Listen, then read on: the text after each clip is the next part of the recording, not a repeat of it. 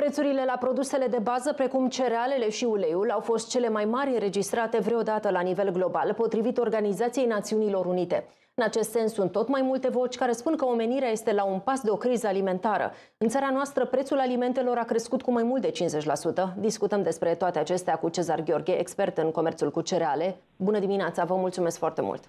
Bună dimineața și dumneavoastră și țin să vă spun încă de la bun început că da, afirmația dumneavoastră este foarte corectă în ceea ce privește ultimul an pe care l-am traversat.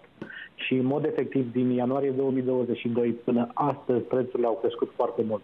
Să știți că o mare parte și o mare vină a creșterii acestor prețuri la materii prime în special o poartă Federația Rusă datorită războiului pe care îl poartă pe teritoriul Ucrainei. Astfel încât la nivel global, ca să spunem, coșul global al grâului a fost pus în primejdie. Nu că nu există, există și a existat, însă nu se putea deplasa această marfă către destinații. Mai mult decât atât am zărit și am văzut cu toții și am constatat pe pielea noastră cum costurile la gaz și costurile combustibile au crescut foarte mult în timpul, să spunem, pe tot timpul uh, conflictului.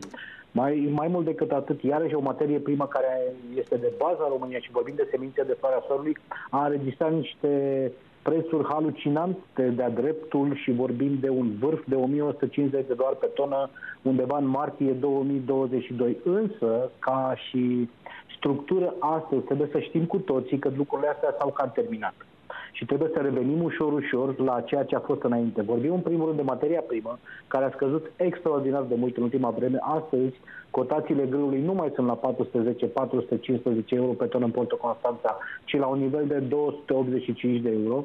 Semințele de floarea soarelui nu mai sunt la nivelurile din martie 2022, ci sunt la nivelul de 530-540 de, de, de dolari pe tonă. Prin urmare, iar... domnule Gheorghe, la ce ar trebui să se aștepte cei care ne urmăresc anul acesta în contextul în care în 2022 au simțit pe deplin scumpirile?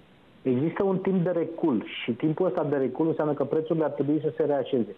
Pre- prețul țițeiului în Brent a scăzut foarte mult, prețul gazului a scăzut, prețurile materiilor prime au scăzut. Nu văd o motivație în lunile următoare ca prețurile materiilor, produselor finale la raft să, sca- să crească. Nu există absolut nicio motivație. Din contră, ar trebui să scadă și să se reașeze oarecum la nivelurile post-conflict. O singură mențiune am aici, toate culturile înființate în România și nu numai în România au fost cu costuri foarte mari datorită prețului mare la gaz, implicit al îngrășămintelor și a celorlalte, să spunem, produse pentru protecția culturilor și semințe. Astfel încât Uh, tendința aceasta la cereale va fi absorbită, tendința de preț, să zicem, de costuri, va fi absorbită în următoarele două, trei luni. Pe scurt și pentru, toate, pentru toată lumea să înțeleagă, prețurile trebuie să coboare la niveluri realiste. Nu mai există niciun motiv. Ultimă întrebare, uh, domnule Gheorghe. Nu mai este niciun motiv, dar din experiență știm că întotdeauna apar alte rațiuni pentru care prețurile să stea pe loc sau să crească anul secetos. Deja meteorologii nu vin cu vești bune pentru prima parte a anului. Am avut și o toamnă foarte secetoasă, lipsită de precipitații. Va fi acesta un motiv bun ca prețurile să stea pe loc sau să-și continue avansul?